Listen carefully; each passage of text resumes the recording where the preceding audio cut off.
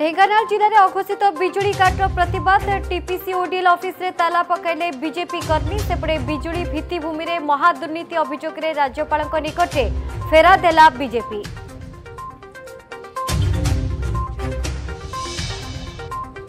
सिमिलीपले दुई वन कर्मचारी हत्यार प्रतीद आजु आन्दोलनले पाँच हजार तिनश फरेस्ट गार्ड दुई हजार पाँचश तिरि फरस्टर ड्युटी रहि पाट्रोलीङ नक निष्पत्ति पाँच दफा दावी पूरण नहेले रु समूह आन्दोलन र चेतावनी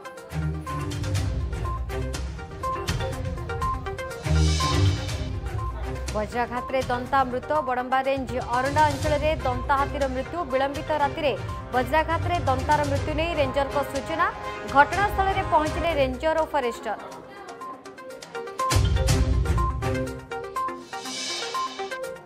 पन्ध्र दिन र अनवसर को दर्शन देले महाप्रभु श्रीजीको नवजौवन दर्शन कले लक्षाधिक श्रद्धालु सकाल आठटा नटा पारिमाणिक टिकेट दर्शन सकाल आठटा तिरि साढे साहना मेला दर्शन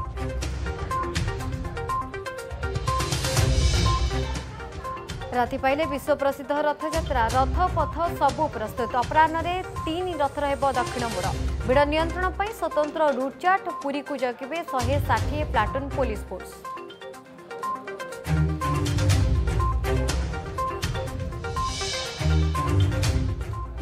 ମୁଖ୍ୟମନ୍ତ୍ରୀ କାହିଁକି ସବୁଆଡ଼େ ଯିବାକୁ ଅସମର୍ଥ ବିଜେଡି ବିଧାୟକ ପ୍ରଫୁଲ୍ଲ ସାମଲଙ୍କ ମନ୍ତବ୍ୟ ପରେ ବିଜେପି ସାଂସଦ ଅପରାଜିତା ଷଡ଼ଙ୍ଗୀଙ୍କ ଉଦ୍ବେଗ